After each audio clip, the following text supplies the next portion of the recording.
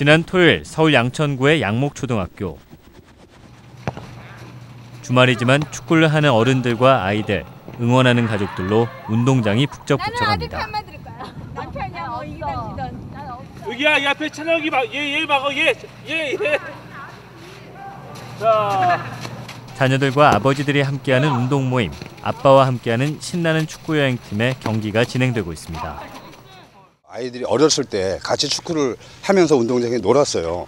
그러다 보니까 이제 친구들이 모여들게 되고 그러다 보니 한 10명 정도 되고 엄마들이 또 뭐 하나 아, 와서 보니까 축구를 하고 있단 말입니다. 그래서 아, 이거를 어, 커뮤니티를 하나만 만들어 보자 라고 어, 해서 지금까지 오게 됐습니다.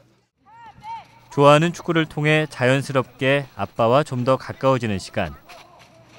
초등학교 때부터 시작한 아이들은 중학생이 된 후에도 꾸준히 모임을 찾습니다. 아빠랑 축구하는 자체가 좋았어요. 아빠가 원래 운동 잘 안 하시는데 제가 워낙 축구를 좋아하다 보니까 같이 나와서 하니까 그냥 아빠가 더 축구도 좀 하게 되신 것 같고 또 부지런해지셨어요. 아빠랑도 협동심이 생기고 어, 원래 주말에는 PC방 가거나 애들끼리 따로 노는데 양목줄이 학교에서 축구를 하니까 어, 재밌기도 하고 할 것도 많아지고 뭐 여러 체험도 많이 해서 좋아요.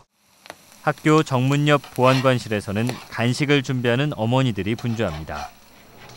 그동안 부모님들의 자원봉사와 후원으로 꾸려져오던 모임은 다양한 행사를 통해 널리 알려져 서울시 마을공동체 부모 커뮤니티로 선정되기도 했습니다.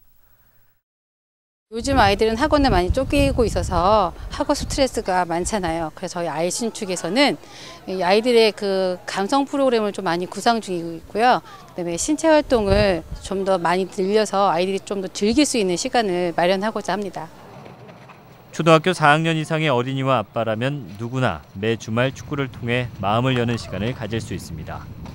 어, 어떤 그 고민이라든지 어, 걱정거리라든지 이런 또또 대인과의 소통이라든지 이런 것들이 엄, 거의 뭐 어, 그런 마음의 맺힘 같은 게 없어졌어요. 그러니까 자, 자연스럽게 그냥 일상이 되었고 친구처럼 이렇게 어, 지내고 있습니다. 자녀와 함께 축구로 소통하며 추억을 만들어 보는 건 어떨까요? TBS 리포트입니다.